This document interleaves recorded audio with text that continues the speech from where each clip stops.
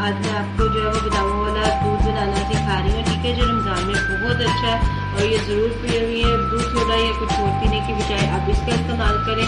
بہت زیادہ طاقتور ہے، دماغ کو، جسم کو اور سب چیزوں کے لیے بہت مفید ہے۔ اس کے لیے میں نے ون ففٹی گرام تقریباً بادام لی ہے باداموں کو بھگو دیا ہوا ہے۔ اس کے لیے جو ہے وہ میں نے ہاف لیٹر دودھ دیا۔ آپ اپنی مرضی سے کم زیادہ کر سکتے ہیں۔ ٹھیک ہے، پھر اس کے علاوہ میں اس میں چار مغز یوز کروں گی۔ مشری چینی کی جگہ میں اس میں مشری یوز کروں گی اور سبز الائچی کا استعمال کروں گی۔ سب سے پہلے ہم جو ہے وہ دودھ کو ابالنے میں رکھ دوں گی اور ساتھ میں اس کے جو چھلکے ہیں وہ اتار دوں گی۔ اس طرح سے اتار لیں گے۔ چھلکے اتار لیے اب اسے میں گرائنڈر میں یہ دوسرے جس میں ڈال کے اس میں مکسی میں جو ہے مکس کروں گی۔ تھوڑا سا پانی ڈال دوں گی۔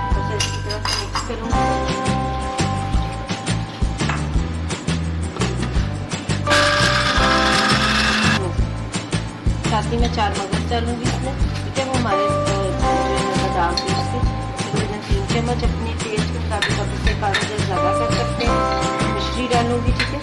مشری میں نے کہی تھی چینی کی جگہ میں اس میں مشری یوز کروں اور چھوٹی الائچی سبز الائچیاں جو ہے وہ کسی بھی بھی آپ ڈال سکتے ہیں۔ اس کا جو ہے وہ ایسنس بھی آپ یوز کر سکتے ہیں۔ تو میں چلا دوں گی تھوڑا سا تھوڑا سا مزید پانی ڈالوں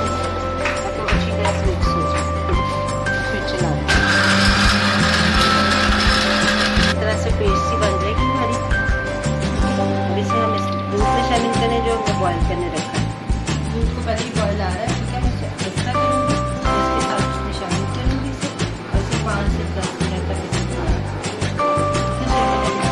اچھی طرح سے۔ تقریباً ہمارا ایک تیار ہے۔